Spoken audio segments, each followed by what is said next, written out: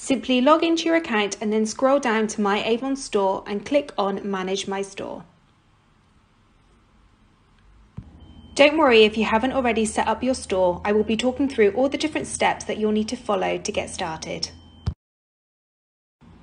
Step 1 is where you create your unique store name. Think carefully as this cannot be changed. It will be your direct link to your store. Step 2 is your contact details and when you are contactable. This can be edited at any time if needed.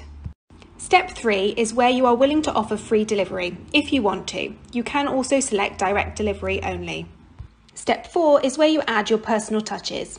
Find a picture that you love and create a personal message for your customers. Again, both your personal information and delivery area can be updated at any time.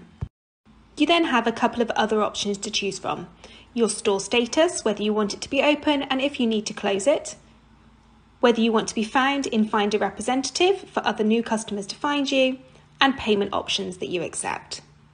Once you are happy with everything, click Save Changes and scroll back up.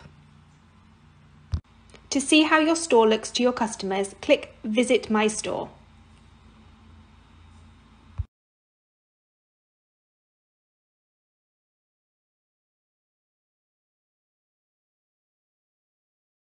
Have a good scroll through and check that you are happy with the way it looks. And simply just go back if you need to make any changes.